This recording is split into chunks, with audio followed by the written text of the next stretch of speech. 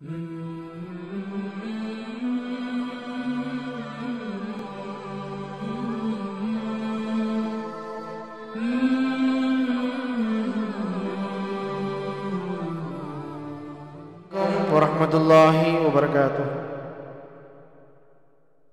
रब्बुल इज़्ज़त ने इस कायनात को अपने फजल करम से पैदा फरमाया है और इस दुनिया में इंसानों के रहने, सहने और पुरअमन ज़िंदगी गुजारने के लिए महबूब सल्लल्लाहु अलैहि वसल्लम के ज़रिए रोशन हिदायत अता फरमाई।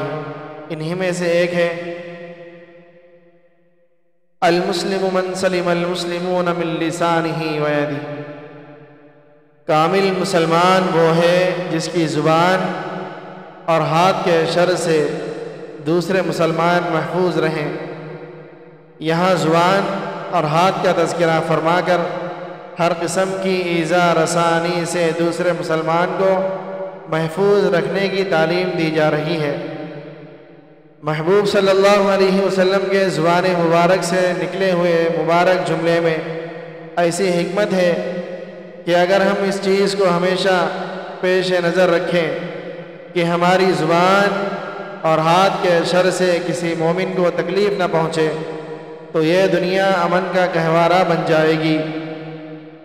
कई बार हमें यह धोखा हो जाता है कि ज़ुबान और हाथ के शर का ज़िक्र फरमाकर गोया तकलीफ़ पहुँचाने के ये दो ही महदूद ज़राए हैं।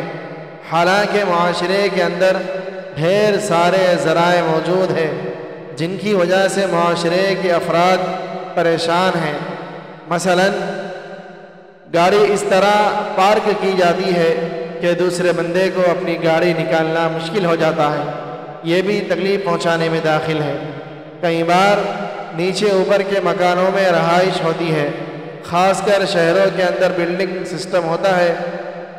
अब ऊपर वाला बेवक्त कोई काम ऐसा करे जिससे नीचे वालों के आराम में खलल पैदा हो जाए।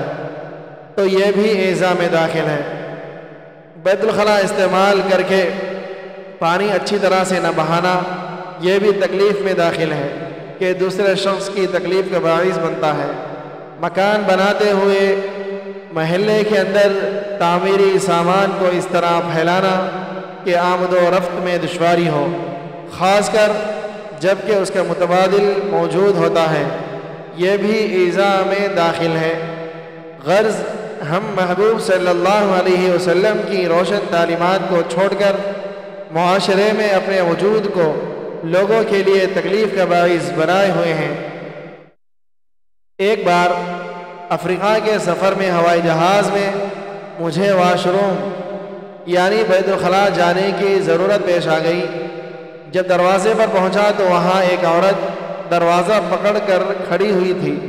मुझे देखकर कहने लगी मैंने इसको इस्तेमाल किया है, लेकिन सफ़ाई के लिए फ्लश नहीं चल रहा। एयर हॉस्टेस को इतला दी है। जब वो इसको फ्लश करेगी, तब आपको इस्तेमाल कर सकते हैं। तब आप उसको इस्तेमाल कर सकते हैं। देखिए, अगर वो चली जाती तो मुझे पता भी न चलता कि कौन गंदा करके गया है।